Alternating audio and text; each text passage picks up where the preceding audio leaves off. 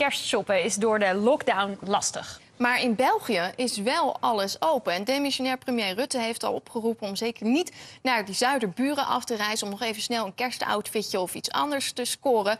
Maar toch uh, gaan heel veel Nederlanders die kant op, naar Antwerpen bijvoorbeeld. Ze worden alleen niet door iedereen met open armen ontvangen. Toen zag ik echt wel een paar reacties van blijf in je eigen land. En dan denk ik, ja, allemaal prima.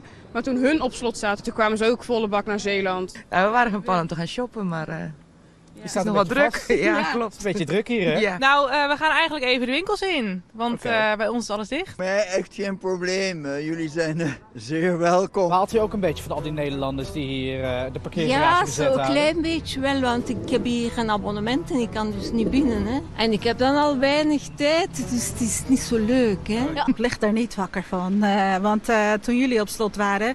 Toen waren jullie ook uh, bij ons in Nederland. Dus denk ik, ja, weet je, mensen, kom op, uh, even een beetje Zeker vriendelijk zijn tegen elkaar. ja. Oh.